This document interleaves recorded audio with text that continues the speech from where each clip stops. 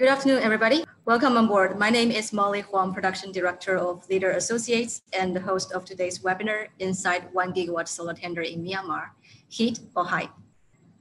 Equally excited to, as you are, we have just got information that Myanmar will officially extend its bidding deadline from June the 18th this year to July the 17th, 2020, which would provide a totaling of two months for local and international players to prepare and bid on.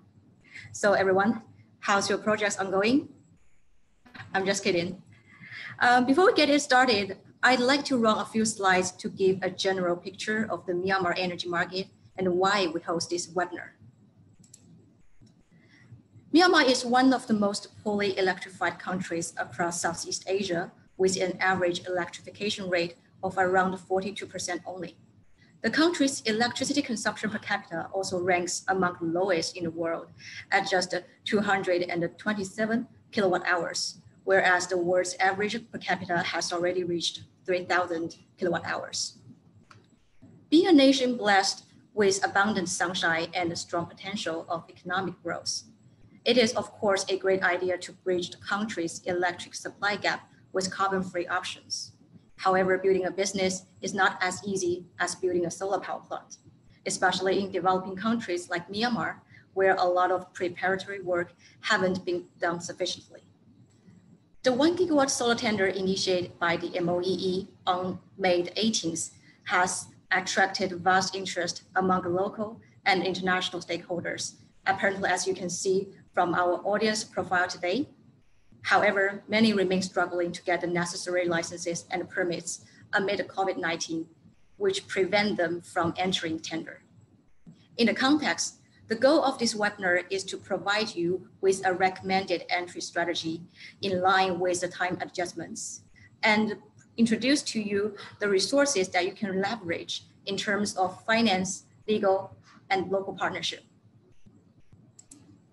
Moreover, at the end of November, our flagship event, ASEAN Clean Energy Week, will also be taking place in Manila of the Philippines on November the 23rd to 25th, and will go through multiple ongoing and planning tender programs, not only in Myanmar, but also in the Philippines, Malaysia, Indonesia, and Vietnam. And also for today's attendee, a further 10% discount will be given for your tickets using the code ACEW2020. Okay, um, no more sales pitch. Let's stick to today's presenters and agenda. Uh, with great honor, I'd like to introduce our three distinguished guests today. Mr. Peter Crowhurst, CEO of British Chamber of Commerce in Myanmar, Mr. Edwin Vanderbruggen, partner of VDB Loi, and Mr. KK Leung, CEO of Smart Group Companies, a reputed Myanmar local stakeholder. Firstly, Mr. Peter will give us a touch on the overall business landscape and the foreign investment climate in Myanmar, followed by Mr. Edwin's in-depth interpretation on the legal clause of tender. Mr. KK, as the third presenter of today, will further complement the tender pro the process with an extra focus on the land acquisition issues. Traditionally, each of the presenter will be given around 15 to 20 minutes for audience Q&A after their presentation. Uh, this time, however, considering the specialness of the market period, in addition to the traditional Q&A, we will also add one extra Q&A slot at the end of the webinar after all the presentations. So I would strongly recommend and encourage every audience to use the Q&A box and raise your questions whenever you can. After you are not able to grab another time uh, and piece all the opinions and ideas together. So, uh, all right, without further ado, I'd like to hand over the floor to Mr. Peter Crowhurst. Um, good afternoon, everyone. Uh, Ni hao, or Peter. Uh, a, a, very warm welcome to uh, Yangon and the British Chamber of Commerce here in, in Myanmar. Um, essentially what I'll do today is just give you a very brief overview of where we are and in the various sectors of power in, in Myanmar. It's, uh, we can go into greater detail later on offline, but we'll save most of the time for Q, and a and where uh, entities such as the Chamber or Edwin and, and his team can support or KK, KK can also support. So I hope you can see you can see the uh, see the screen. Um, uh, so there's no shortage of plans, as I say, national energy plan, national electrification plan, uh, many plans. Um, we're trying to get some of them off the ground here if we can. Um, the target is to have power to all the people um, by 2030. We'll have to double the generation capacity at least. Uh, can the grid itself actually handle it? So therein lies another opportunity. Um, 2016, the master plan started with solar and wind at very low levels at about 1.2% of the, of, the, uh, of the electrical share. Uh, that's been updated to around about 12% um, uh, by 2025, uh, hence the current solar uh, um, bid coming up to one gigawatt. Fossil fuels obviously play a, a major role um, and is likely to be so for some time um, but you know, particularly uh, coal, coal and uh, some oil.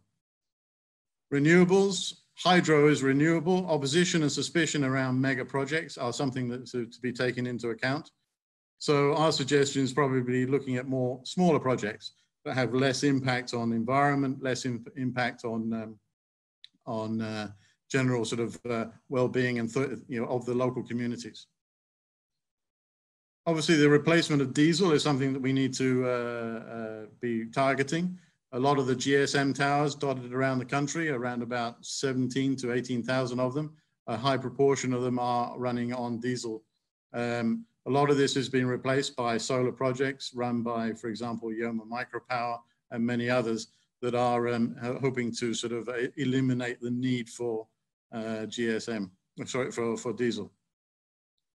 Biomass, uh, biomass is obviously a very attractive way and in some ways, but obviously in another way, it's actually having a large environmental impact, uh, particularly on deforestation.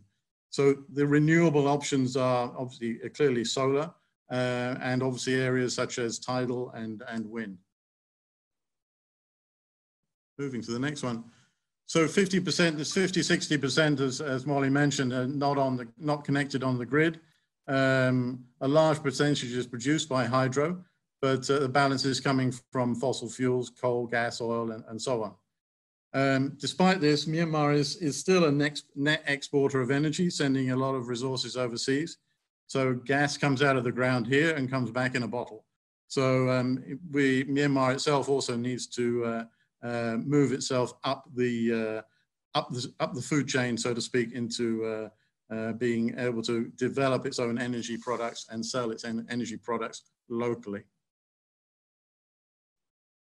A lot of happens on wind priority studies in, in, uh, in since two, 2011 in the various states mentioned there. Um, wind power plants in, uh, in uh, Changta, Magwe region, all in the hills there and the beach resorts. A lot of seminars, much PowerPoint, lots of opportunities in the wind sector uh, and this morning I was on the call with uh, the Carbon Trust in, in the UK, um, and they are um, uh, very keen to be developing uh, particular areas on wind power. Solar, which we're talking about today, solar plant, for example, in Minbu, uh, producing about 170 megawatts, more planned in uh, Mandalay division. Other plants developed by Yoma Mandalay, Yoma Micropower, all coming from the private sector tender, the tender release is, is, is good. It's, uh, it's about the right size. Tender conditions uh, and schedule are tight. Schedule extension, as you just heard, well, it's happening. So it's, um, uh, you've got an extra month. Other areas um, which, we, which we are working on, uh, generation of, uh, of, of, tidal and river currents. Um, Generation is predictable and reliant. You can read the chart tables or the tide tables. You know when the river is flowing and not flowing. Um, we have plenty of rivers and plenty of ocean. We have 1,500 miles of coastline. Um, however, at the current moment, limited commercial floating tidal uh, energy devices are available. Um, we are actually supporting a uh, UK company in this area uh, who are bringing UK uh, technology into the country there will be local, local fabrication uh, here in, uh, in Myanmar. So the Chamber is supporting them with sales and also connectivity and linking investors to the project. So a lot of, a lot of opportunities in the tidal sector. That's it really. Uh, the Chamber is here ready to support and help any uh, member companies or non-member companies looking to come into the market. Um, we have an exceptionally active working group uh, led by uh, a participant today, Mr. Neil Carmichael. Um, uh, and we're improving the quality and volume of the foreign direct investment, uh, mini grid, off grid introductions. And we would also recommend uh, the private sector, uh, not just waiting for the, for the government tenders and bids. so please do visit us, to give us a call. Um, um, together with the participants today, we're more than happy to help, advise, and uh, put people in the right direction. Thank you very much. Uh, do, do, do, do shoot some questions should you have time, but I'll stay on for the rest of the rest of the, uh, of the event. Yes, thank you so much, Peter, uh, for your kind uh, preliminary preliminary introduction of the market and also during the rehearsal uh, me and peter had a several conversation regarding uh, the audience q&a what kind of questions might be raised by the market participants and peter mentioned that he will be very honest with all the people uh, so during the pre-registration we have uh, selected several questions from the audience for Peter, and here are the top three that we'd like to introduce to you. Questions for Peter. First one, um, what are the challenges for achieving financial closure for the project in the given timeline? And any possible financing means for the project? Uh, yeah, like I say, there's a lot of uh, opportunity with working with either local banks or the international banking sector here in uh, in uh, Myanmar. Um, and again, also working with sort of uh, commingled funds overseas or, or, or, sovereign funds. Uh, there are there are plenty of financial opportunities here, and I'm well aware that there is you know a lot of money available in the private equity sector that would be interested in participating in such of these uh, such, mm such. Yes. So, are there enough local um, capital available for the projects, or most of the capital of most of the funding resources would be from international sphere. I think yes, there is money in in the market, but um, you know, I think it's being able to develop the right formula to be uh, at the moment. You know, banking lending rates are, are quite high, um, so I think there has to be a you know generally focusing towards the private sector to finance to finance the uh, the uh, programs. I mm -hmm. don't too reliant on on government uh, coming to the coming to the fore straight away. Mm-hmm. And uh, and I, I read from your profile that you've been in the Myanmar for the past uh, um, I, I, I, believe it will be seven years. Since 2013.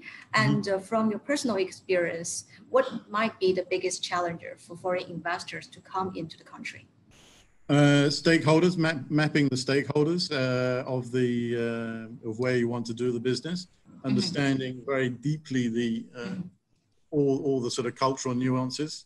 A little bit like entering China, you need to know your stakeholders. Here, very mm-hmm. much, um, uh, you need to know your stakeholders. Uh, we're mm-hmm. Project now for a for a non-related client um, that is we are supporting very heavily on the stakeholder mapping, who the they should be talking to, how they should be talking to, when to talk to them, and uh, and so on. So it's really the, the key is knowing your stakeholders and getting mm-hmm. support. So mm-hmm. people like KK, people like Edwin who are on this call here are all subject matter experts to be able to mm-hmm. market entry into into into the country. Mm-hmm. And what what kind of support does the Myanmar expect from international players? For example, in terms of money, technology, or whatsoever? Everything, really. Um, you know, I think you know, Myanmar is at the sort of lower end of the scale of uh, of uh, technology, but don't don't underestimate it.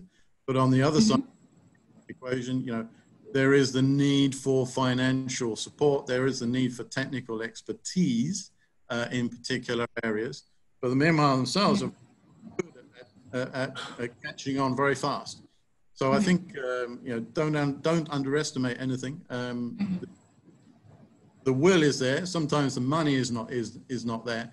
But that's where you know money and a little bit of expertise and a little bit of management support will help get things across the line. Mm-hmm. And uh, if you can kindly open the control panel, there is a Q&A box. And mm-hmm. also in the open panel, there are several questions lining up. Uh, I think you can scroll down to the end, and there mm -hmm. are three questions for you exactly. Uh, so the first one uh, coming from Mr. Muhammad Hasber. Um, mm -hmm. He asked, is the COVID-19 pandemic causing any delays in the tendering process? Well, it's not helping, that's for sure. Um, people can't come here. The is essentially closed, and getting a visa is very hard. Um, platforms such as this, technology such as this, um, uh, we're able to to uh, provide support from from Myanmar. We're mm-hmm. actually companies now, and I'm sure Edwin and uh, KK are doing the same. Uh, be able to get hold of the, uh, the necessary tender documents uh, and actually will personally deliver them to uh, on, on your behalf. So we're happy, we're happy to do that, um, to be able to support uh, a diverse and supportive um, tender. Mm -hmm. And what kind of incentives that are currently available uh, in Myanmar's power sector? Mm, I don't know. KK might be able to I don't know. and uh, for, for what worth, uh, thank you so much for a kind um, address and uh, uh, for introducing our next two presenters, Mr. Edwin and Mr. KK. Uh, I, I, think there are a lot of questions uh, coming for the detail, the tender program, as well as the local players practice in terms of processing the tender. So I think it will be Edwin and KK's turn to introduce more of your perspectives. And thank you so much, Peter, for joining us. I know you, you need to jump for another call. Thank you. Yes, and uh, Mr. Edwin, uh, now it's your turn. Uh, may you able to turn up your microphone as well as switch the slides to your computer? very quick, and I'm going to focus. Thank you very much, Peter, for for this overview. I think that was very useful, um, and you touched upon some of the points that uh, I think we can we can build further. Um, so just very quickly, I, my job will be to go into the nitty gritty of the uh, of the tender. Um, so the, the, commercial terms and the, the RFP terms, um, and it's uh, my job actually became more difficult. I, I should ask Molly for some extra uh, so extra incentives because not only yesterday did they extend the deadline, uh, which, which was great news, but uh, they've also just released uh, clarification number two by the EPG on requests from uh, from bidders, questions from bidders, and I've literally just you know gone gone through as much as I could for this uh, for this webinar. And I'll, I'll try to integrate most of what I saw uh, so this is not not uh, you know it's hardly public yet. It's, it's, it's just been released. Um, but I will try to share some of what I saw on clarification too as well during uh, during my presentation um, so yeah, very quickly, this is our law firm, uh, VDB Loi. Uh, so I've been living and working in Myanmar for eight years now. Uh, this is my ninth year. I've done a lot of power projects there, uh, including uh, Minbu, the solar project that uh, that Peter just talked about. As a matter of fact, here you have a map of a lot of recent and major projects in the country, which includes LNG projects. You have a lot of hydropower. You have solar. Some of these projects have not been have not been completed yet and these are the ones that uh, we worked on. Uh, so that's that's that's quite a lot. Uh, it's quite a lot in the country. But uh, let, us go forward to first of all uh, the, the, the where, the when, and the how of this uh, RFP. Um, so this would be a 20-year contract. Build on operate, yeah, one single PPA with, e with EPGE per per project. So there are uh, there are uh, uh, 30 locations that have been selected. You can, you can bid for one or more locations. You can bid for all locations if you like, but you need to submit one bid per project. That is to say one bid per location. Yeah. Um, by the way, this is the, the, the, PPA that you will sign with EPG is the only document that they're going to give you.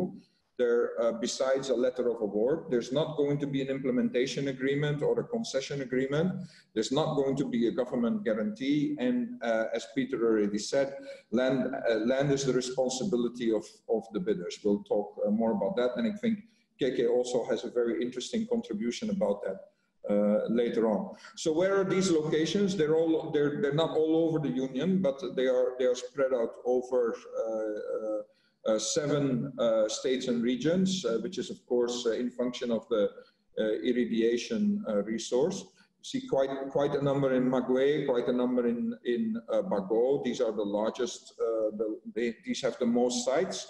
Um, so this is all. Most of this is central Myanmar, and Ayeyarwady is a little bit more southern. So here you see it actually uh, with all the locations and you see the which ones are 33 kV, which ones are supposed to be 66 uh, kV in terms of connection of the transmission line.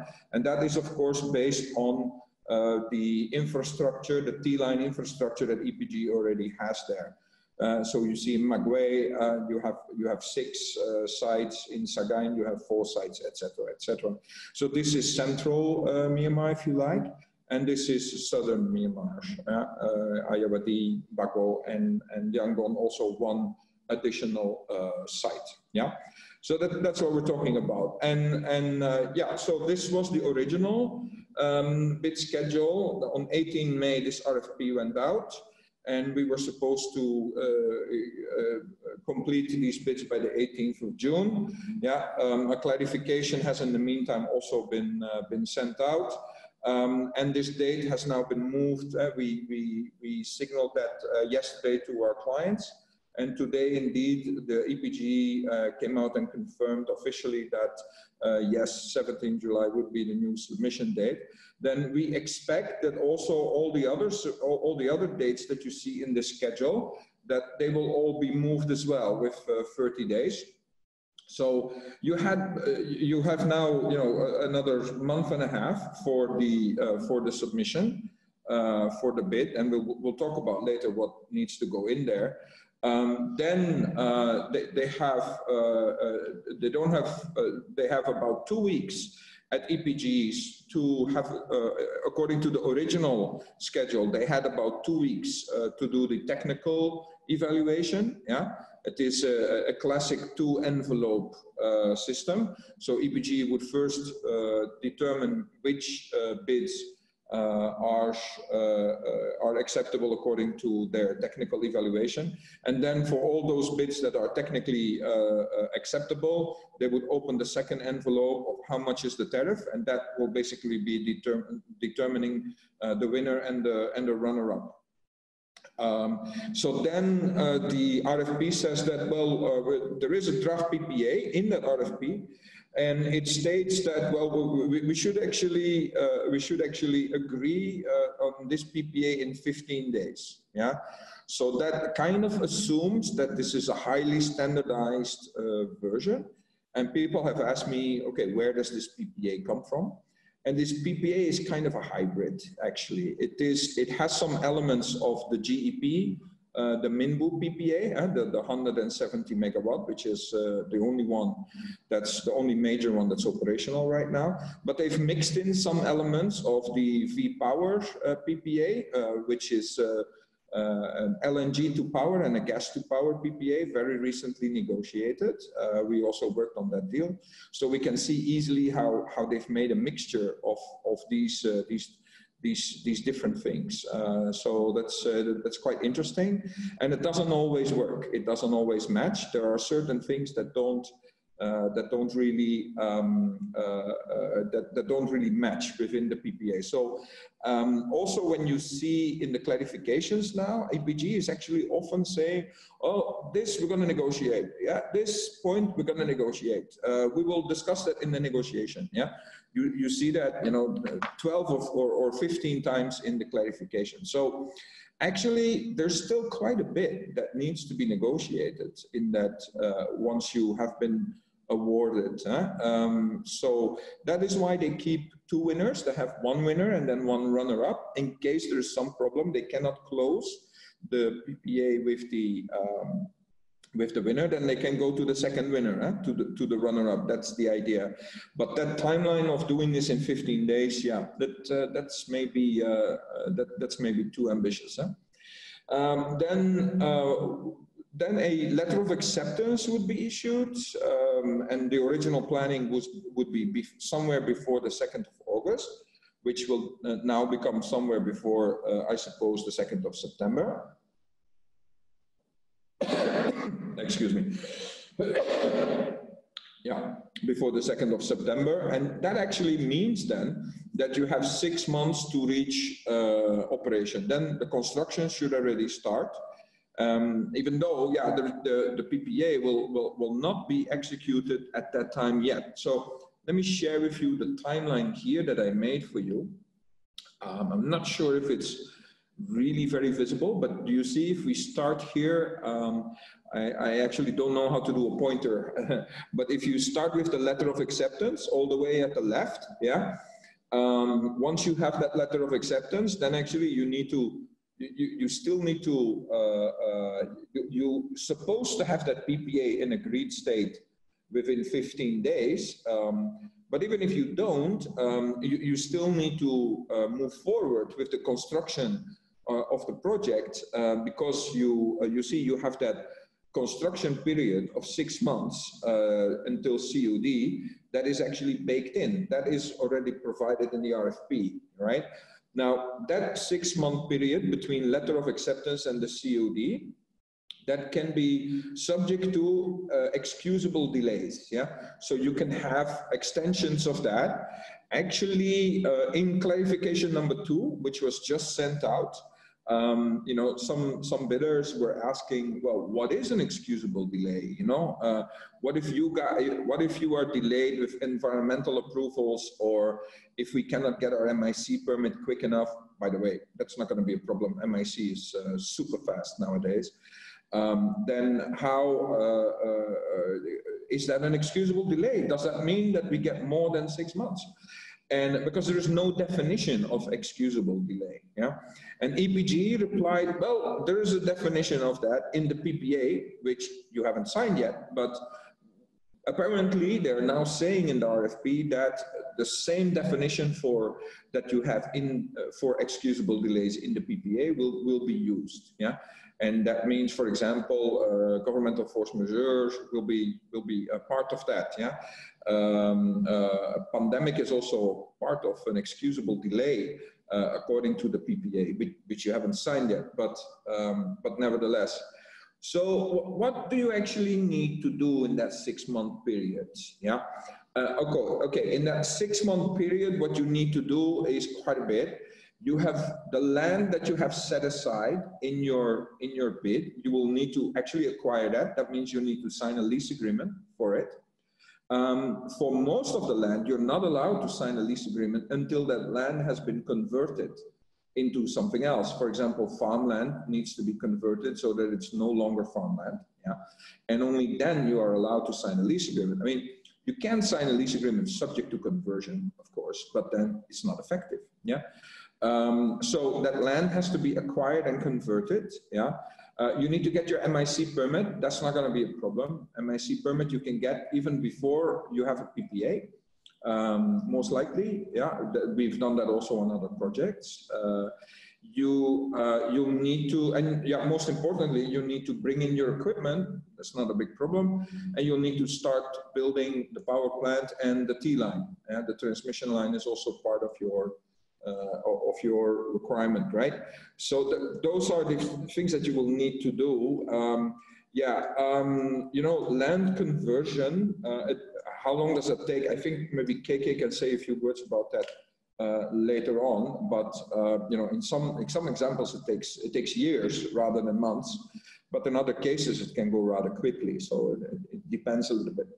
Um, okay, so um, uh, yeah, let's let's move on to all the different approvals that you are going to need. Um, our clients are asking that as well. So okay, so if we go forward with this, so what what kind of licenses and approvals are we going to need?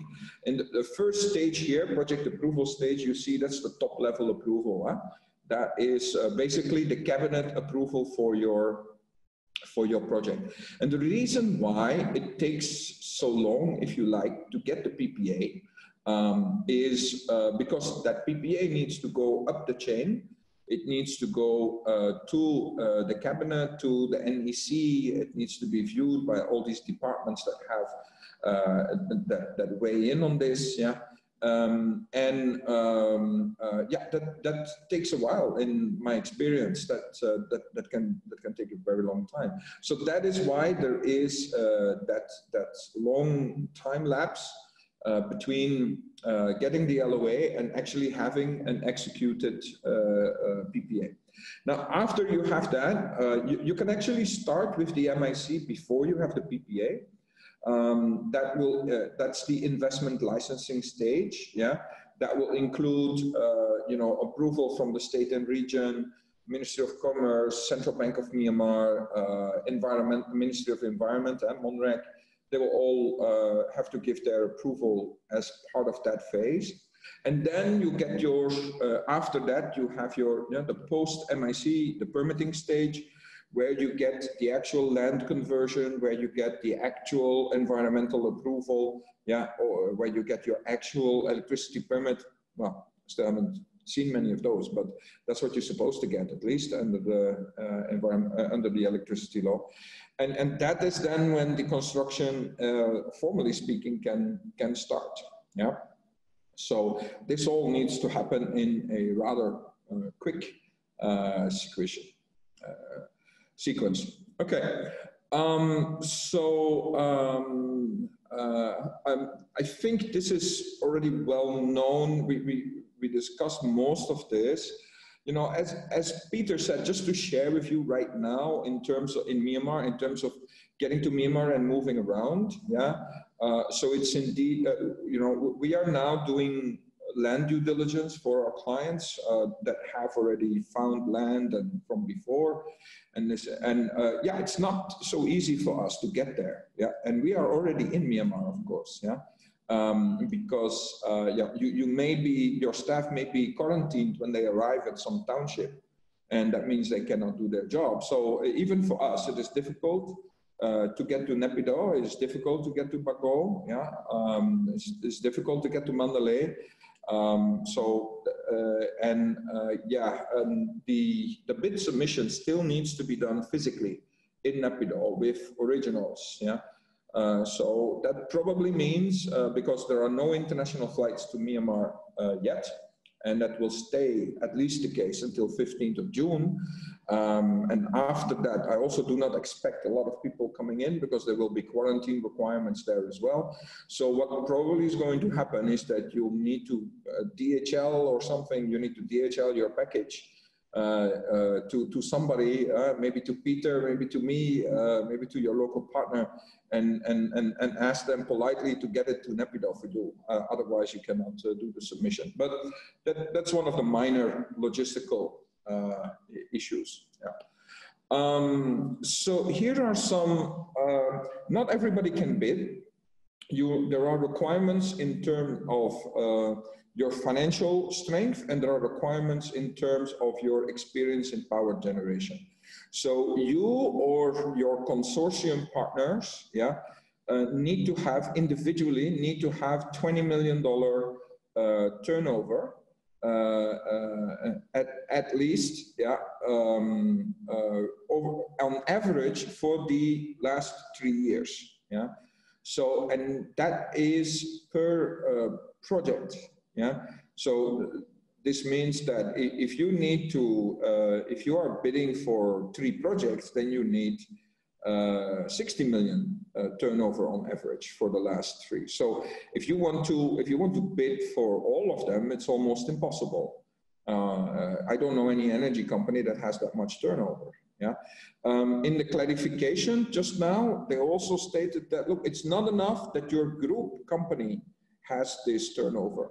No, no, it should be the bidder. It has to be the bidder yeah? Not your group company not your sister company in the philippines or whatever yeah? Whoever sends this piece of paper that is the one that needs to have the turnover yeah?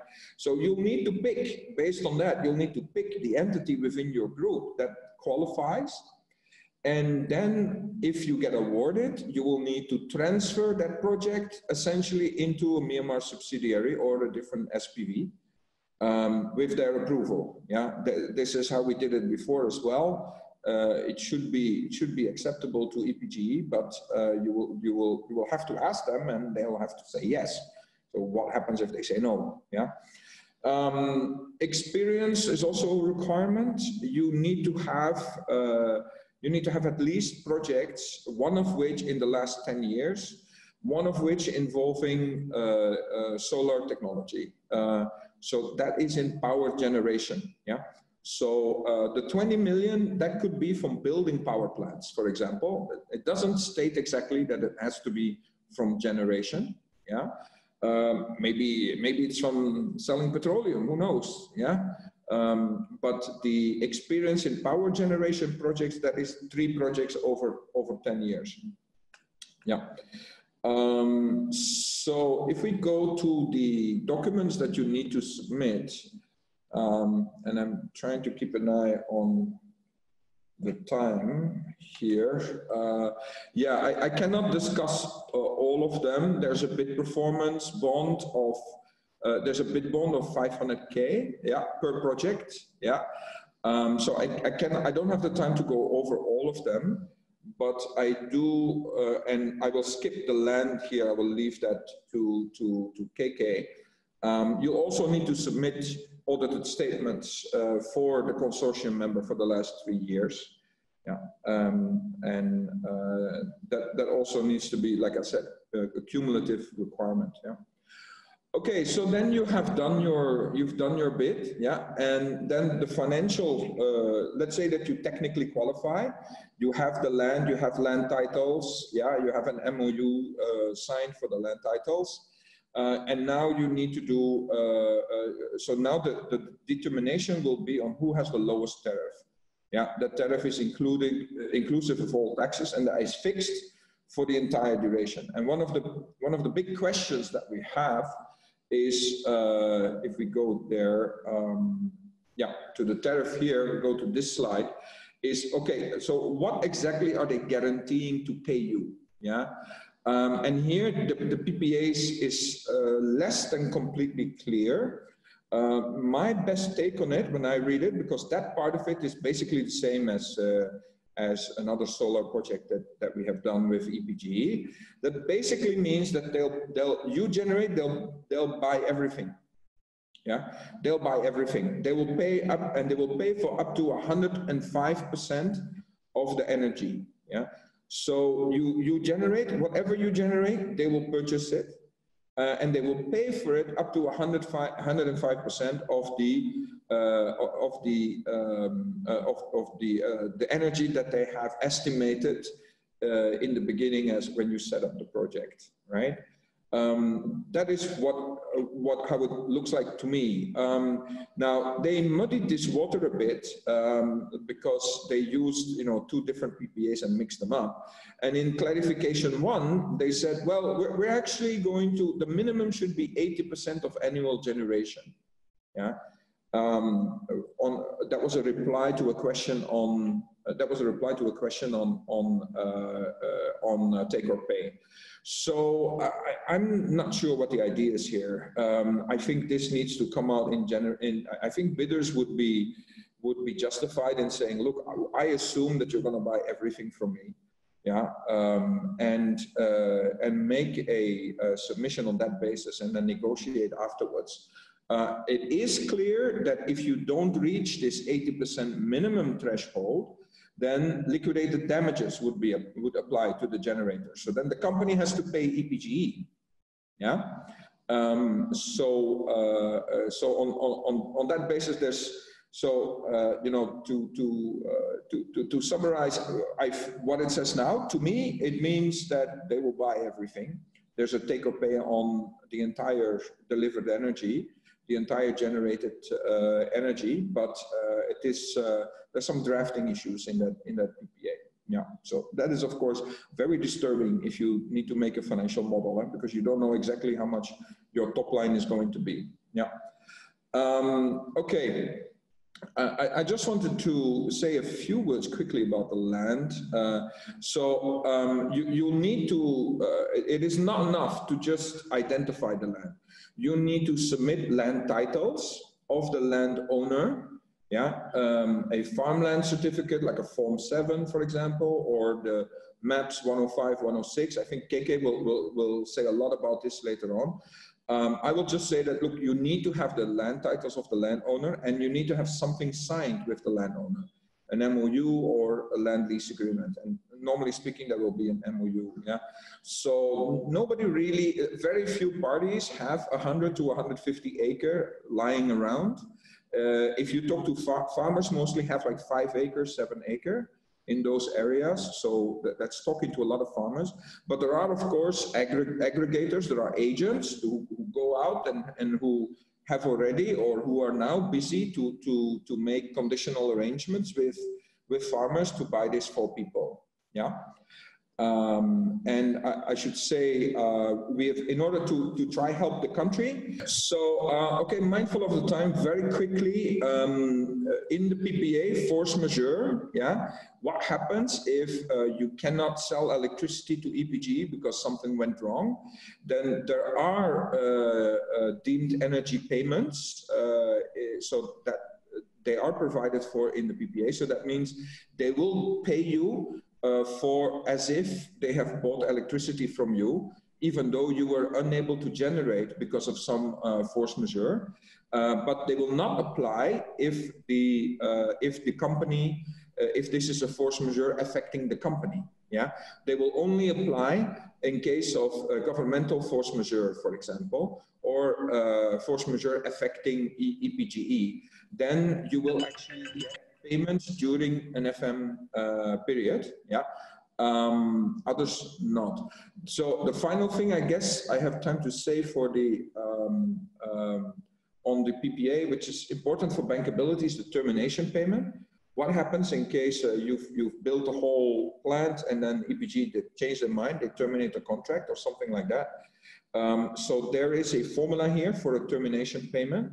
They will pay you basically uh, five years, 60 months of, I, I, guess, minimum guaranteed payments. They say capacity charge, but actually there is no capacity charge in the PPA. So this is just, uh, you know, uh, somewhere where the drafting of the PPAs is, is simply not, not correct because they mix a lot of PPAs.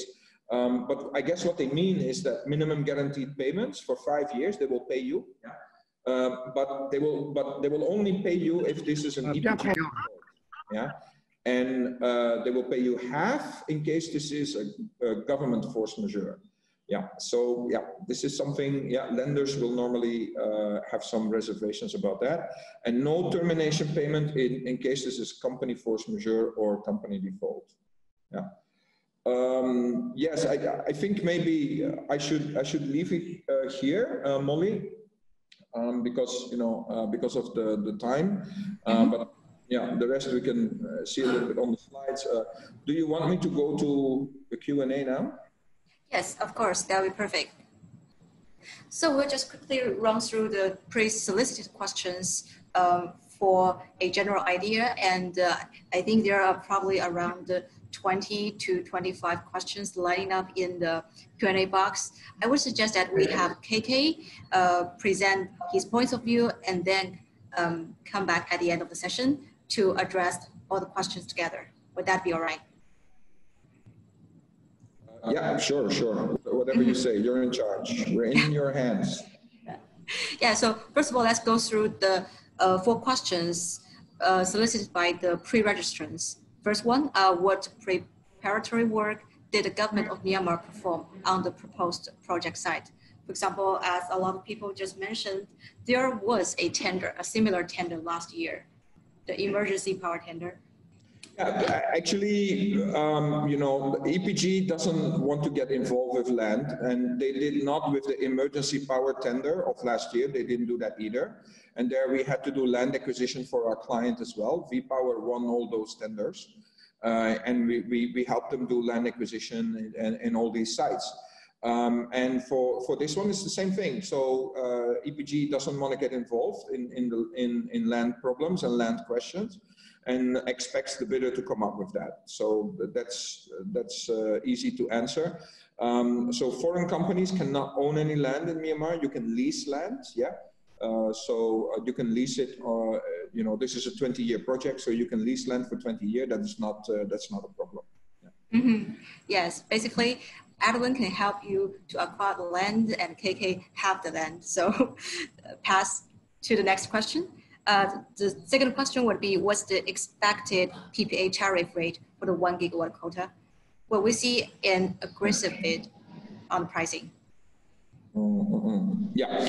So what I think people need to understand about this uh, tender is that this is largely also a uh, integrating uh, projects that were already being prepared. Yeah, and uh, for projects that were already being prepared and that can be integrated in in this tender, and there have the benefit of being able to say, look, it was tendered and this one is the best one. Yeah. Uh, that being said, it's it's still it's still open and transparent because they're going to pick whoever is the cheapest. Yeah. Now, uh, who, uh, what kind of tariff are you going? Are we expecting? Um, is a little bit hard to say, of course, but I think that uh, if you are a, a, lot above six cents, I think probably no no need to apply. Yeah, no need to no need to bid. Yeah, um, uh, somewhere between six and a half and, and, and five, or maybe a little bit below five cents. Uh, I think that that uh, that becomes com competitive. You know, uh, EPG has looked also at the tender that was done in Cambodia, 60 megawatts uh, a year ago, won by a Thai company, um, and uh, that was a very competitive, uh, very competitive price. They often refer to that. Um, but it's not really fair because in Cambodia they, they, give you the land for free and you don't need to go and find and, and fight for the land. Yeah, you, you they give it to you uh, and uh, you don't have to you don't have to do the transmission and stuff like that. So I think we will we will be above that. But I'll, I would be surprised if we're going to be if we're reaching seven cents. Yeah. Um, so, but that's just a personal a personal idea. Yeah. Yes, and uh, speaking of the typical challenges in Myanmar's PV sector, also in this solar tender specifically, name the top three challenges you would say. Um, well, I think uh, the typical challenges, yeah. Look, one big problem is going to be that, you know, is, is the, the, the wrong perception of the bidders. You guys are all thinking that this is a tender. It's not. This is a this stage is a beauty parade. You just need to get in for now. You need to be number one or number two for that township because then you start negotiations, as you can see from the clarifications. This is how we do it in Myanmar. We get two or three people and we, we, get, we get rid of all the others and then we play them out against each other to see who, who's, who's doing a little bit better than that. Oh, you, you want government guarantee? Oh, you know what? That other company didn't ask for that. Huh? Hmm, I don't know. If I were you, I would withdraw that. Yeah. So a lot of negotiation actually still needs to happen, and they they they say it in the in the clarifications. They say, oh, we will discuss that. We will negotiate that in the PPA. How much is the take or pay? We will discuss in the PPA. Yeah, but you're only going to discuss with number one or number two, right? So this is not really a tender. This is a beauty parade to get the two best ones, the two, the two most competitive ones. And now we're going to do a direct negotiation in competition with those two. That, that, that's actually what it is. So all what you need to do now, you know, can forget, forget about how to, you know, how we're going to do the bid. No, no, no, it's not about that. It's just about how are we going to get rid of all the other competitors. We want to be number one or number two for that township. They've already admitted in the clarification, oh, if we cannot agree on the PPA with you, you know, if you were number one, number two, and we cannot agree on the PPA with you, no problem, we give you your money back. Your 500K, it's okay, we give you back. So what do you want more? Right? This, they are really, they, they are, they're, they're making it so easy for you to understand. Yeah, this is how we do tenders in Myanmar. Yeah, it's, it's actually negotiation disguised as a, as a tender, and it works.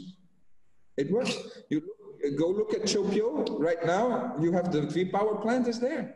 It's there, right? Yeah. PPA not signed until much later in the in the process. Yeah, uh, but it's there. Yeah. Mm -hmm. Yes.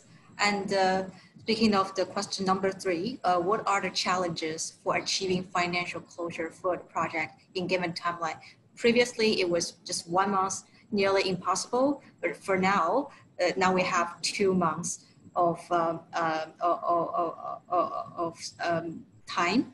Uh, do you think it would be possible, and through which means could we really, you know, support the landing of projects?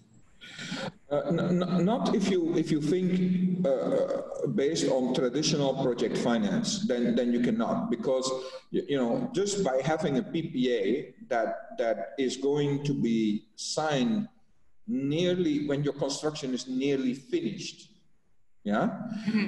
that will that that is just uh, abhorrent to traditional project finance thinking right?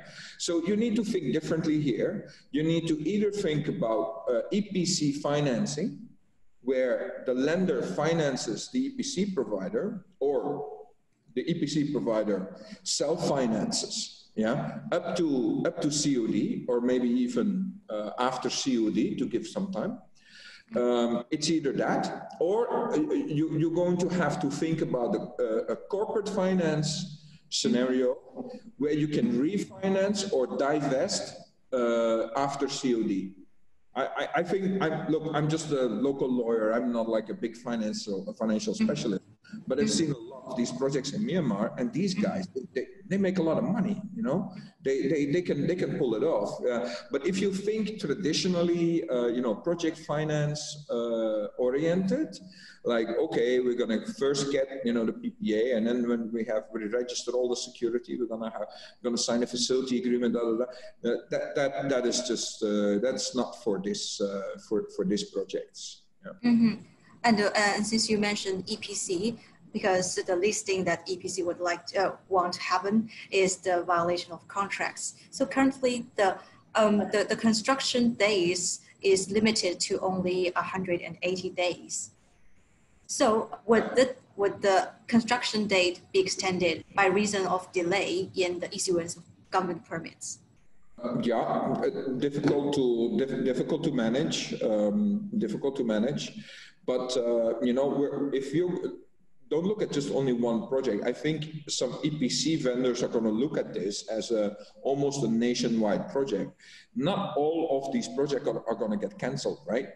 So if you move your panels in and uh, you you and something happens with uh, with a site in in Magwe, then you can move maybe your panels to another site. You know, you should perhaps look at this as a as a general risk rather than a a, a project per project risk. So. Um, but you know, one of the projects that, that did make it was also EP, solar project was also EPC financed. Huh? That's that's how they got started. Uh, and and then uh, long term, you know, the senior lenders could take over. So I think maybe uh, for, for me that was impressive to see from you know from the inside how they were able to pull that off, and I think that matches a lot better with the with the requirements of this uh, of this uh, process here. Mm-hmm. Yes, well understood. Um, and uh, and there's a later part of the question: Is there any maximum limit of off takers uh, specify?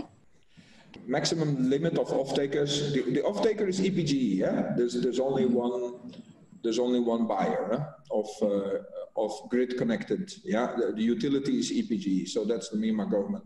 There's only one off-taker. Yeah, mm-hmm. uh, yeah. Um, maybe if you say that, oh, can we can we also you know sell a few megawatt uh, to uh, to like an industrial zone that's going to be there or something. Yeah, yeah, perhaps we've seen examples of that before, but often EPG wants to wants to be part of that as well. So I think just focus on on EPG being your your only off taker. So you mean uh, it is possible for the uh, developers to do some C&I projects directly with the uh, corporate buyers, industrial parks, without use of the national grid?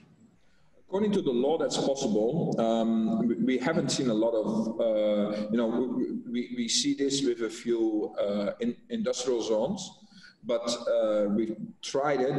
As far as I know, uh, hasn't been hasn't been completed yet because uh, hasn't hasn't hasn't been finalized because EPG will say, Oh no no no! It's okay. We can do that. We can do that. Just sell it to us, and we will sell it to to the uh, to these uh, to the zone. Yeah, we will take care of it. Don't worry about it. Yeah. Um, but according to the laws, yeah, that's possible. According to the laws, you you can now, uh, if you get uh, an approval for it, you you can sell uh, directly to an industrial zone or or to a, to a hospital or something like that. Yes, as also uh, as you mentioned, EPC as well. Um, so does the Myanmar government have any preference toward the local EPC or international EPC? And how, how do you see the maturity of the overall supply chain in Myanmar? Well, we don't make solar panels, yeah, so that's one thing, yeah. Um, and uh, I don't know that many companies in the energy uh, space in Myanmar that have $20 million turnover, yeah. They'll, maybe in oil and gas, there's a few. Um, so the, the requirements were not really set with I, I, don't see evidence in this RFP of the Myanmar government trying to protect uh, its own businesses. Yeah, that's maybe good or maybe sad depending on who you ask. But I, I don't. There's, for example, there's no local content requirements. There's no local shareholding requirements. In Myanmar, you can do a power project 100% foreign owned. Uh, so I, I, don't see any protectionism there. Um, uh, of, of, course, there's there's a lot of very valuable Myanmar companies that can help you uh, do this business, um, uh, but uh, just from a legal perspective, it's not required. Well understood. And as you can see from the control panel, there are around the 30 to 40 questions lying here and yes, and uh, I, I, think that will require a certain time uh, and attention to read and process all this information. So may I suggest maybe we can invite Mr. KK to the stage and uh, present his uh, slides. And after, after KK's presentation, we can have a overall view of the Myanmar market and how we can collaborate internationally and locally. Uh, good afternoon, everybody. Uh, from the list, I saw that there are about nearly uh, 300 people uh, attending the webinar. And uh, hello to everybody. Uh, Peter, thanks for your uh, presentation. And Edwin, thank you very much for your very comprehensive uh, you know, presentation. Well, I might be not take too long. I will be talking about, according to the organizers, I'll be talking about advantages and disadvantages for the locals, the local players. Actually, I'm very, very happy that this standard came out uh, because we've been waiting for a, a long time that uh, Myanmar is going into the renewable energy. Unfortunately, the tender came out in the wrong time when the COVID was happening. So the tender came out. Another wrong thing is that the, the timing that we have to exercise to bid is also, it's only about 30 days. So now it's already uh, extended to the another 30 days, which will become 60 days, even though 60 days is, with this kind of thing, is not enough. And the way I look at it is that the who float the tender is, they float the tender on the emotional basis because they have emotional that they might not have enough power in the coming summer. But this is very important, the way I look at it, because it's the very first, this solar uh, energy tender which is coming out as a tender. Because previously is is not a tender, it is a direct negotiation. So it has to be correct. For me, as a local, we've been used to stay without electricity. So even though we don't have electricity in the next summer, or if we have a load shed, I'll be happy with that. But I want to do it right. I want to do this tender to be right and do it properly so that all the international tenders, all the international investors can come into the country with a very high transparency. Okay, let me start talking about the disadvantage of the locals. Just now, Edwin also say that the one who has to bid must have a three IPP project in last 10 years, and then one project with the PV technology. How can our local will have that kind of ability because there's only one PV project in the country. And how can the local investors will can have this kind of uh, requirement? That's why I put this small uh, picture there. Definitely the tender says that all the locals, you are out. We don't want you. That's the way I, I, I interpret it. Okay, 20 million US dollar for past three years. Well, that can be uh, happen, but unfortunately, just now Edwin says that. You see, like under the smart, for example, I have different companies are there. If you combine it, if we combine it, it can be more than 20 million. But not a single company for the local to achieve turnover for 20 years for last exactly three years, not easy. So this is a disadvantage for the locals. And for me, I want, this is not a very big, uh, uh, technically difficult project. I have a strong belief that our local in technically build this kind of project.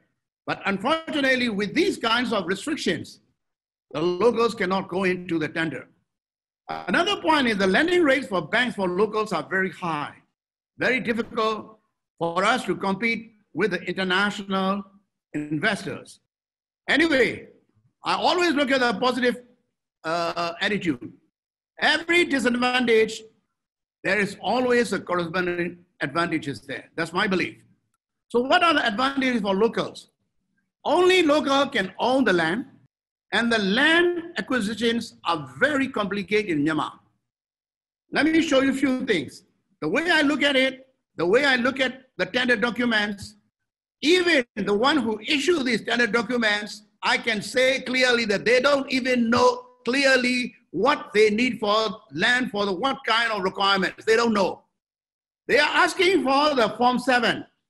This is Form 7. For the foreigners, I'm sorry that you cannot read, I know. I cannot translate, but look at it. This is Form 7 because they want Form 7. Form 7 is the one that if you hold the Form 7, that means that you have right to do the farming on the land. You own this land for farming. This is also part of the Form 7. But that doesn't mean that if you own the Form 7, that doesn't mean that you can go and do the solar project. And they, this is Form 8. Form 8 that actually you have to pay the land lease for, to the government, and this is the land lease form, land tax. This is a Form 8. This is the Form 105. I just want to show you that for the investors, if you want to bid this project, you have to come across these forms, definitely. Actually, 105 is, if the Form 7 is there, Form 105, you can apply for it. This is another Form 105 sample. Form 106 is we don't even need for this project, this kind of project. What we need is that once you get the Form 7, either you buy it or either you lease it, you have to request that you want to use it not as a farmland, but you want to use it as a solar project. Then you have to apply with a Form 14. And how long it takes to get the Form 15? This is the Form 15. Once you get the Form 15, then only you can use this land as a solar project. If you ask me how long it takes, wow, nobody can answer the question. It's a million dollar question. It might take six months, it might take six years, it might take even forever. So what are the advantages for locals? I already told you the land is very complicated. Without local, very difficult for the international investors to work here or to bid the standard. Another advantage for local is because of COVID-19, there's a travel restrictions for overseas travelers. And this is the advantage for us. But for me, I would like to rather see a lot of people bidding for this one so that we can have a very uh, competitive bidding. Another advantage for local is payment are in Myanmar kyats. So all the investor, they need a good local partners for the repatriation of funds. Thank you very much. I, I would like to, uh, you know, answer together with the other panelists. Thank you. Yeah, thank you so much, KK. And before uh, sharing the questions with other panelists, uh, we still have four questions for you independently. So, um, so for questions for you, uh, number one, uh, as it is a very tight timeline, considering most of the developers are coming in from scratch, is the timeline uh, even realistic? So historically speaking, uh, are there other type of projects approved by all department with the same um, same same time frame as this tender? Well, everybody knows that this is a very tight timeline. Everybody knows. And I talked to some of the responsible person and I've said that your timeline is too tight. How can we walk?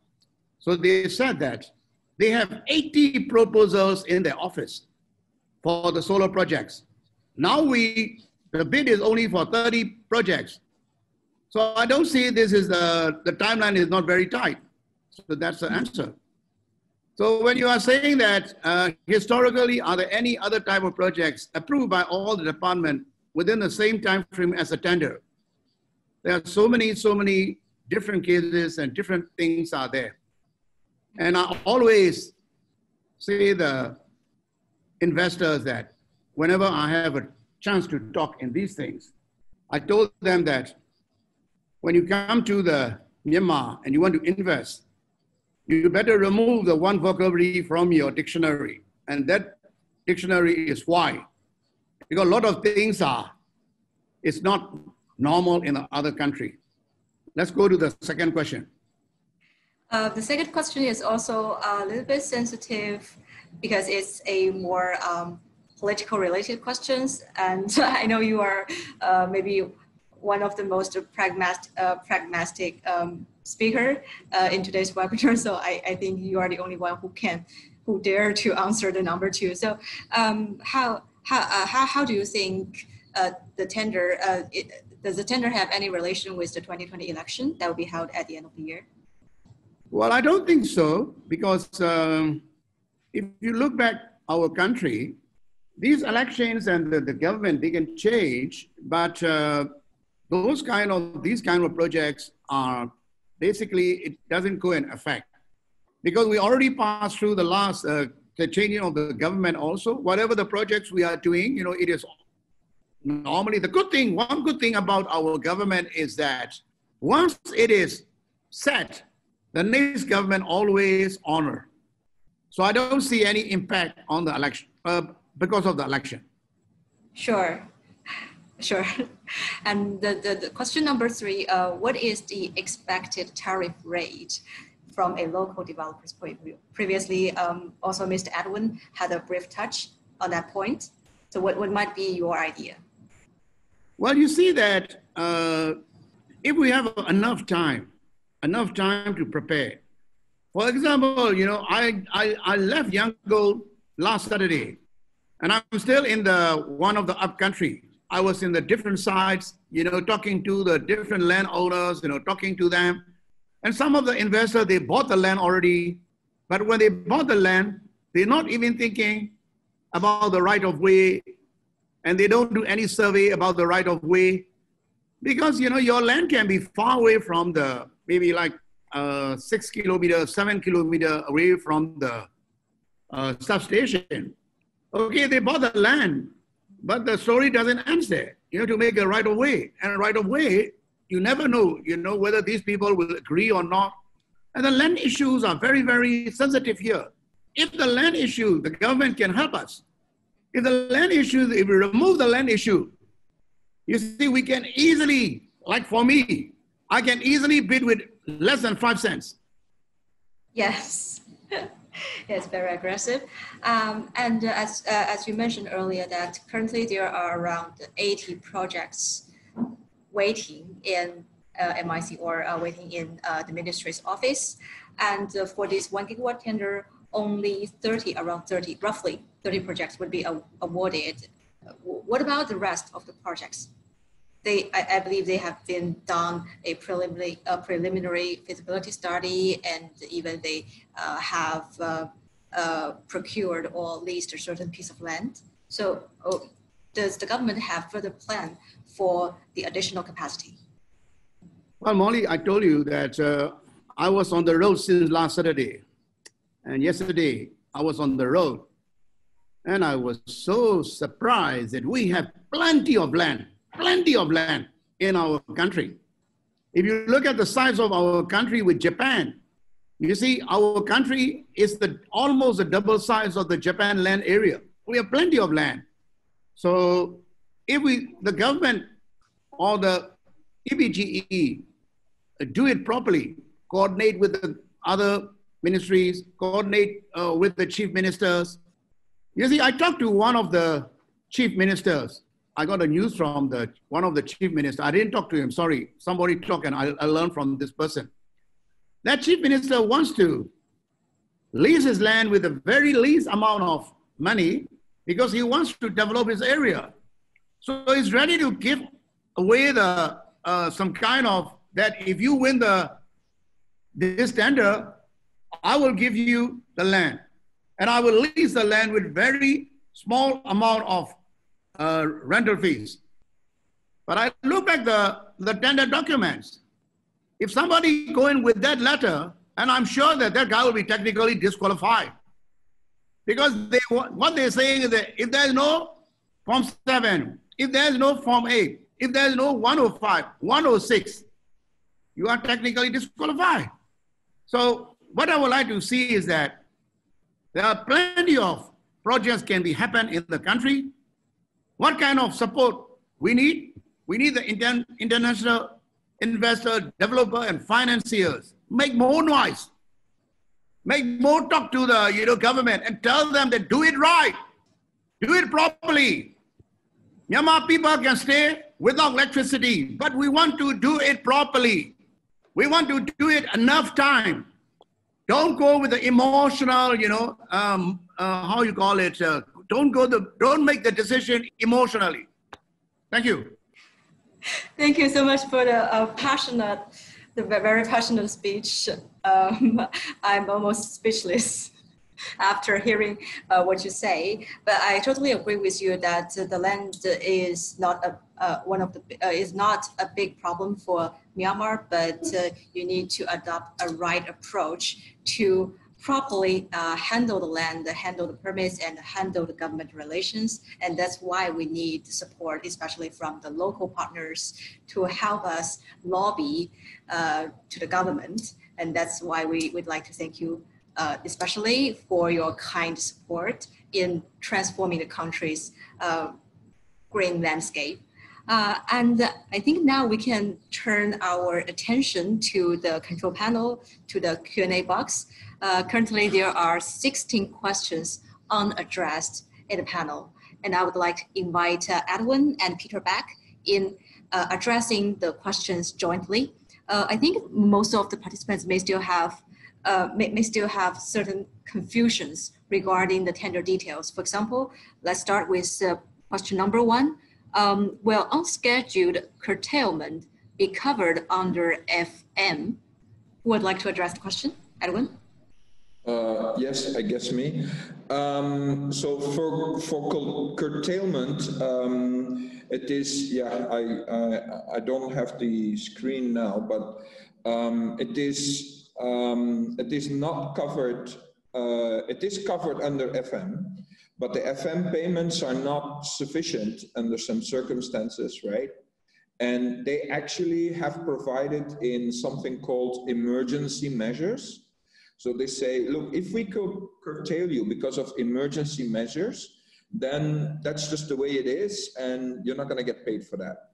Um, and one of the emergency measures would be, oh, if we need to safeguard the integrity of the of, of the electricity transmission system.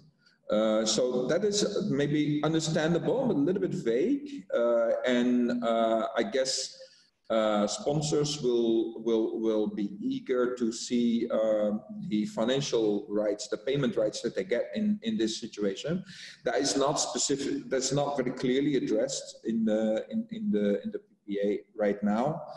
Um, so yeah, as I said, this is one of these areas where I think that and um, yeah, I, I, answered a lot of questions. I thought I thought I would help out everybody by answering, but then you know nobody else gets to answer, so maybe that's unfair. Sorry about that. Um, but uh, I think that's one of those areas that uh, are going to be settled in, in, the negotiations. So it's difficult during the bidding phase to come up with a position and come up with a with a low tariff if you don't know the answer to that uh, yet. Yeah, I think this is also further detailed in in my slides. Uh, I realize, I mean, uh, if there's any people on the call who would like to have the slides, just drop me a line. Uh, or otherwise I will arrange with uh, with Molly, and then we can uh, we can distribute them. I need to take out a few things before we can send them to everyone. But if you want to have the slides now, you can just send me an email, and then I can I will I will send them over to you. Mm -hmm. Yes, and any comments from KK regarding the curtailment? Sorry? Uh, yes, any comments from your side regarding the curtailment? Well, uh, I missed it, sorry. As for the, for the question number one, uh, will unscheduled curtailment be covered under FM? Uh-huh. Yes, any comments from your side?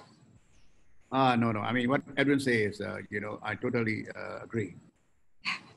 okay, and let's uh, move to uh, question number two. Uh, is grid infrastructure uh, substation evacuation capacity verified I think that's a, um, that, that's a, that, that could be a big question regarding the grid and the, the, overall stability when you want to integrate large, large share of renewables into the line. Um, so any comments uh, from Edwin OKK? No, I, I presume they've they've done their job over at EPG. They're, they're usually very good at, at these kind of technical things. Uh, but uh, so uh, so I, I think you can in your bid you can assume that uh, that the capacity for the evacuation is uh, something that EPG will take responsibility for. Thank you. Except, except of course for the T line that you need to build yourself to the substation but I mean past past the substation, right? So you need, you need to build a 33 kV or a 66 kV to get to the substation, but then afterwards, that's that's the end of your of your responsibility. Yes, and well, well they are the, yeah. yeah. Sorry, sorry for the interruption. Can you please continue? Oh, in in in in that sense, they already prepare. Uh, EPG has done a, a, a, a lot of study well, I've been to one of the substations and there, uh, not even the one project, or for example, like 30 megawatts, which is coming into the switch bay, they have a, a physical slot for even two uh, space that two, even the 230 megawatt projects can come into the station. Yes. They have, they have already prepared. Yes. And uh, uh as Edwin just mentioned that there might be some like new transmission facility, uh, will the cost or even the or even just the maintenance cost be covered by uh, the PPA? Edwin? Uh, you, Sorry, I was still on yeah. mute. Huh? Yeah. Uh, so uh, the limits uh, on the land, the question of Manish, right? Manish? Yeah, you're asking me the question that, that Manish is asking, is there any limit on land per megawatt basis? Uh, no, no, no, no, no. It's a, an additional questions come from our side. Uh, for example, as you just mentioned, that there might be some uh, new transmission facilities uh, built by the developer themselves. So what yeah, the that, cost? Yeah, that, that, that's part of it. Yeah, you have to pay. You have to pay for it, and uh, you you you rent also the land. I mean, you need to get the right of way for the T line, but you don't need to get that right away uh, during the bid. Um, so th therefore, the uh, but the cost of it you you will need to assume. So you build the T line and you hand it over as soon as it's done. You hand it over to the DPTSC, which mm -hmm. is a part, which is the Department of of uh, uh, of uh, transmission uh, of the MOE, and and they will then uh, take charge of this. So the cost for that, uh, which the which the sponsor has to pay, you need to recoup that through the tariff. So that uh, so it that that's why you know when we we we send our data on the land that we have through our relations when we send that to the interested uh, bidders we always try to specify how many kilometer is the land from the substation because obviously there's a cost associated to that mm-hmm. uh, in building that uh, that T line. So yeah, that's part of the of your bid. Yeah, I mean not only the construction cost of the T line, but also the maintenance cost will it be covered by the bidders themselves or would it be covered by the Department of Transmission? Uh, no, the O&M is done by the DPTSC. Uh, Okay. Yeah. Yeah, well understood. And uh, yeah, now we can move to the question from Manish. Is there any limit on land on per megawatt basis? Uh, for example, uh, 1.5 acre per megawatt? They don't say, um, so you, you, you, in your bid, you need to show that you are technically proficient, so that your project technically works. And what, whatever, whatever requirements in terms of land you have with the technology that you are using, this is what you need to show. But they, they are not setting out any quantitative uh, uh, requirements. Yeah. And any comments from KK, our land expert?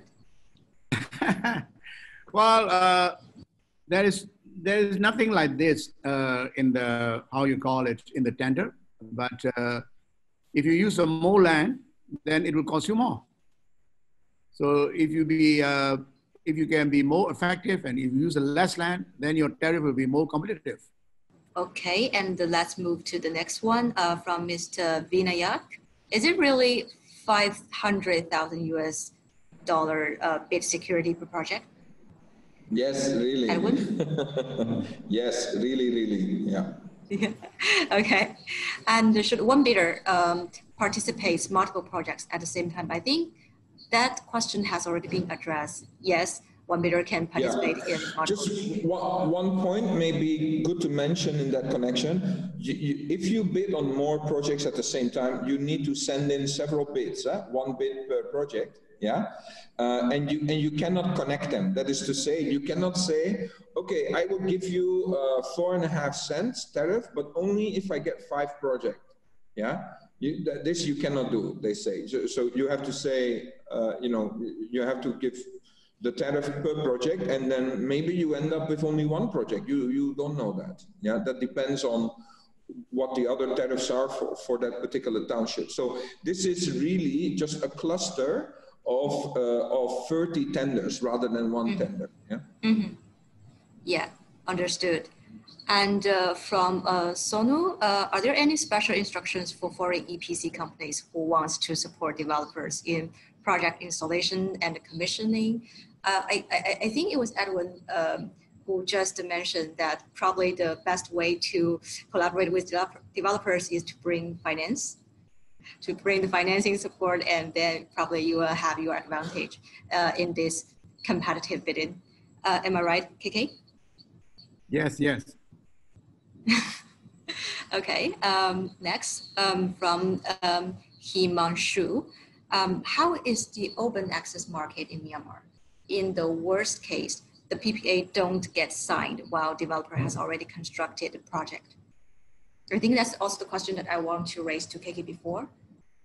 There is always a risk. Actually, uh, you see that uh, according to the, uh, the existing laws, all the state and division government, they can do the, the any power projects which is less than, less than 30 megawatts, which is not connected to the grid. So if, if they have a, already, you know, if they don't get a PPA, I mean, they can deal with the, the local government. And then, you know, uh, they can sell the electricity. The chances are there. What, what, what do you mean by uh, negotiate with the local government? So that project will become an unsolicited project again, and uh, maybe um, will be in negotiation mode with the, uh, the, the, the, local government or the utilities again? No, because uh, this Mr. Sharma is saying that, you know, uh, how can they access to the open market? That's what I'm saying, you know, if you have a power plant in the country, and if your power plant is less than 30 megawatt, you can sell directly to the anybody with the approval of where your power plant is. If your power plant is, say, like one of the division, then you need the approval from the chief minister and you can do it. Mm-hmm. okay. Uh, and any comments from Edwin? Uh, yeah, that's that's correct. Uh, then the only thing is then you, you, cannot use the national grid, so you, you would need to do your own um, your own distribution. Uh, which is also allowed, uh, even even foreign company. But you could find a distributor, make your own your own mini grid, uh, where, where you are. Um, I, I, I, doubt that there's areas where you can do a mini grid for 30 megawatt. I don't think you'll have enough customers for that, but um, but uh, uh, yeah, yeah. Look, I, I, also want to say, um, you know, that we, we we haven't seen. I, I, I lived there now nine years. It's my ninth year. I, I haven't seen anybody build something for the government and then it just all fell apart and and they were left with the bill. Um, that hasn't happened. Um, you, you, you can say that they are they are not doing this in the way that other countries are doing, and you can say that well it is weird that the PPA coming in so late and, and things like that. But I don't think we can say that uh, the that uh, the government has reneged on on uh, on on deals like this and has uh, has left investors in the cold having spent uh, 30 40 50 million dollar and then uh, and and and then uh, you know reneged on the deal or broke the contract. That, that I, I, haven't seen. So i'm pretty i'm i'm really confident that you will get to ppa um, uh, um, but uh, yeah they are expecting us to take a leap of faith that uh, some that does not match with the risk profile of a lot of investors yeah Yes. Um, and uh, for the next question from Vinayak again, I, I, don't think it's a question. Most of the international investors will be setting up a local entity. They will not have three years of revenue meeting the criteria. Uh, uh, yeah, and yeah, I, I think the, the, the answer is yes, and that's why we need more support from local players and from the professional law firms to help us deal with such kind of issue. Mm, no, I, I don't think that that's the answer, Molly. I, I think that you'll need to do the bidding with the foreign uh, parent company that has the revenue. Mm-hmm. Yeah. Um, if you have, uh, if you're an international investor, you cannot bid with with the the, the, the Myanmar mm-hmm. subsidiary that you set up six months ago. Yeah. Mm-hmm. You will you will have to bid with your uh, top company or or mm-hmm. with at least a, a very credible company in your group and then once you win the project, you'll have to transfer that project to the to a Myanmar subsidiary uh, or a new Myanmar subsidiary, and I don't think that will be a problem. Uh, I, I, I, think uh, the, the, the, economics behind, the, the logic behind would be they want to take the full control of this project, of the bid. I think the the problem is that there's been some um, some uh, blame, some some comments in relation to what happened in 2016 when uh, certain companies were able to sign up power deals, even though they actually had never done anything in power or haven't done much in power. Um, and uh, so I, I, think what they're trying to do is to try to make sure that, that they that they have some minimum requirement in terms of the financial substance of the companies that they are that they are dealing with, and they, they don't want to deal with like a very very new company just set up for this deal, you know, and then afterwards nothing happens. Yeah. Uh, I don't want to name any names, but there are projects, you know, even solar projects that were signed and that were not done. Yeah, and uh, mm-hmm. so I, I, think that's what they are trying to avoid. Mm-hmm. Yeah? Thank you so much for kind address. Well understood. Uh, and the next one uh, for KK uh, from Mr. Chen Mingko. Um, do you see any relieving of restriction from EPGE regarding the land ownership certificates or MOU or something else? Well, for the according to this uh, the documents that they are asking for the Form 7, Form 8, Form 105, Form 106. Actually, if you have a Form 7, it is uh, already good enough. But already explained that uh, it cannot right away, you can transform it to use it as a power plant. And I don't mm-hmm. think they will, uh, how you call it, relieve the restrictions unless all these bidders are, you know, uh, point them about this to them. Mm-hmm. Well can understood. I just add some? Can Yeah. I just add something to that, Molly? Um, because this is super fresh, but actually in the clarification number two, which just went out, I, they, they are actually following what KK is saying because um, they, they actually decided, uh, they announced that all right, if you don't have 105, don't have 106, you don't have Form 8, but by implication you have Form 7, then that's enough. You don't have to give us 105, 106, you can do that later. Yeah, and uh, so uh, so it, uh, it has been liberalized a little bit. Yeah, most people, most farmers actually, when you have a, a Form 7, you don't really need a 105 because you have a map on your Form 7. So you don't really need it. Mo- I don't know any farmer who has that, you know. Uh, so then, and they're saying, okay, the Form 7 is, is, is enough. On the other hand, for vacant fallow virgin land, uh, somebody asked in the clarification, was actually my client, asked that, uh, uh, look, we don't have a permit for vacant land. We don't have the permission yet, but we applied for the permission. And well, we're being told it's okay, but we don't have a letter of permission yet. Is that enough? Can we just use the application for the permission as, as a land document? And there EPG said, no, that is not enough. You, you need to get that permission letter about the use of vacant fallow virgin land uh, for you to, to, to qualify. Mhm. Well understood. Thank you so much. And uh, I think uh, Ms. Chen, you know who you should go to uh, when you have similar questions in future occasions. Uh, and uh, then Mr. Bisat, uh, if we enter the bid as joint venture or consortium, how the 20 million US turnover is counted? I think that's a question for, for Edwin. So then if you're a consortium, the 20 million applies to the consortium. So that, that means that the, the total of all three or all two should be 20 million. Yeah, you don't have to have 20 million individually. But they do say that the leader of the consortium, every consortium must have a leader, that he needs to have at least 50% of that 20 million. So that means 10 million minimum. Mhm. Well understood. And Yeah. uh, next, as we are currently running out of time, um, uh, one one more compliment to KK uh, for uh, being a passionate speaker and to um, share uh, your ideas so um, uh, freely. Uh, thank you so much for, for the kind sharing.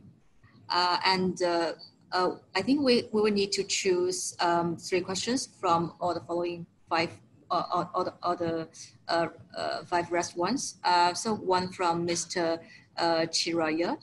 Um, how about opinion from bank about project financing? Unfortunately today, unfortunately today we don't have a uh, financier's point of view here, but I would suggest uh, KK to address this question as you have several interaction with the bank already. Well, the, in the local banks, yes. I mean, uh, you see, uh, they are interested to do the project financing. The only thing is that in our country, the interest rate is quite high. Mhm. So what, what's your suggestion? Probably. Yeah, that's what I'm saying. You see, like the banks are interested, but if you can cope up with the interest, then you, we can talk to the banks. You know, I've already talked to some of the banks, and they are interested to finance. Mhm. The only thing is that when you the interest rate is can be 10 to 14 percent, Mhm. and the 14 percent is they calculate it as a high risk, Mhm. and the 10 percent is is a low risk. Mhm. But most of the time, you know, the banks are when they calculate it, they always end up with a high risk. so if, you can, if you can live with the 14%, yeah, you can get the project financing from the bank. Mhm.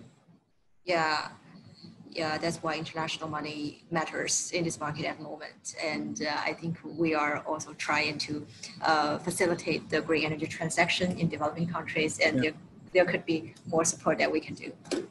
Yeah. And uh, um, regional governments, um, I think uh, that's already been addressed.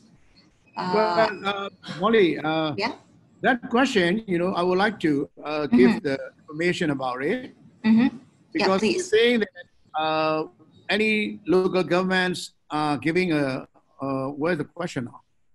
Uh, I just uh, dismissed it. Uh, I'm trying to find it, but you can continue. Sorry. Well, I mean, uh, it says that you know uh, any local governments are also supporting. Uh, do regional governments play any role in this tender? What kind of support can the developers expect from them.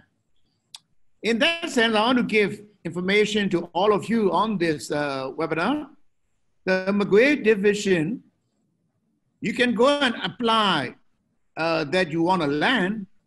They have a, a, a few land plots and they will give the recommendation to you, these plots are available. And then uh, once you win the project, you can go back to the regional government and then you can have a lease agreement with them. They want to lease out these lands to you. But the point, eh, there are two points are there. This is how the regional government is, you know, helping, which is from the Magwe. But there are two points are there. The first point is that the land that they are offering are, is it suitable or not? That's the investor has to look at it. The second point is that they are asking for the, as I explained in my presentation also, EPG is asking for Form 7, nothing but the Form 7 that you have to be, uh, you know, consider. Thank you. Mm -hmm. Thank you so much, uh, Mr. KK. And uh, I think we can come to our. Molly, yes? can I um, just add on? You know, I, I, I, I hate to say it, but it's, it's, it, it, I just want to say that it's disappointing, isn't it? That, that um, EPG cannot uh, get the regional governments to cooperate with this sooner. I mean, I, I agree with KK, you know, I, I know other chief ministers who also said, yeah, I, I, also have, we have 150 here with the, and some land, it's okay, it's with private now, but we would support it. I mean, it's, it's really disappointing. It's really a missed opportunity that EPG did not take this step itself and, and first found lands uh, with these uh, regional governments and then put out the tender saying, look, we have these lands, but you can propose other ones if you have better, that's fine with us, but the tariff will be the tariff. You know, it's, it's, it's, it's disappointing. Yeah. Edwin, now this is Edwin now. I want to hear from you from a long time the saying that I, it is disappointing. Why you are coming out only now?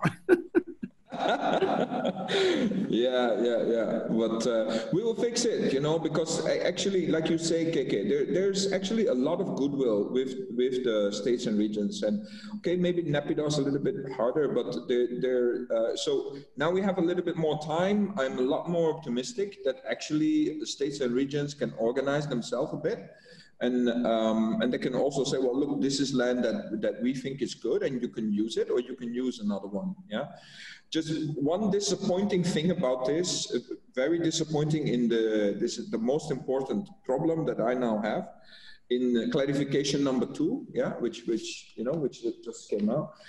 The EPG is saying there that, you know, uh, one landowner can only be in one bid. You cannot have the same land in several bids. And I find, I find that not uh, understandable. Um, the same partner, local partner, the same shareholder? Yes, of course. I, I, I, I understand.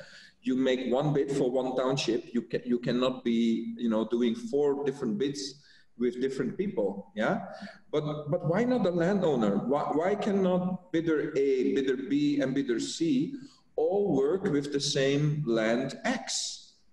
Why not? It's not a conflict of interest. Yeah, uh, as long as the landowner is not a shareholder, uh, then he's just providing the land and probably at the same terms to everybody. That would make it a lot easier for the states and regions to organize this and to to to allow uh, you know then everybody just needs to find one land everywhere and we can all use the same land the best one or or whatever. Yeah? It would make it a lot easier. So i'm, I'm not sure if epg thought that through thought that answer through um, at what it would happen. And we, we, will, we will ask them for another clarification to say that uh, if you're just a lessor, that it, it, doesn't matter. But if you're, if you're an owner, if you're a partner uh, in the consortium, then yeah, there is a conflict of interest. Yeah, thank you so much for the very exciting uh, um, sharing or address. Uh, this is quite informative. And uh, because uh, I think the land issue and the PPA issue are two of the top barriers or top concerns uh, facing all the investors, bidders, developers. Um, I, I would say we choose one question representing one issue from the remaining um, questions. Uh, one from Mr. Uh, Ms. Nicole Sid. Under what land usage category the land to be used must be? How long does it usually take for land conversion? Where can we refer to the fees and the charges involved? I think the, the question should go to uh, should go to Edwin. Duration of the land conversion and uh, what I, might be I think actually both me and KK can say something about this. Um, look, there, there, there's basically no way how you can get farmland converted in, in I, let me put it this way. I've never ever seen farmland to be converted within six months completely. And you don't have six months because in six months, you need to be ready with the construction. So you need to basically start immediately after the LOA and I've never seen farmland being converted immediately, yeah, like in a week or something. That I, I, I firmly believe that that is simply not uh, possible, yeah.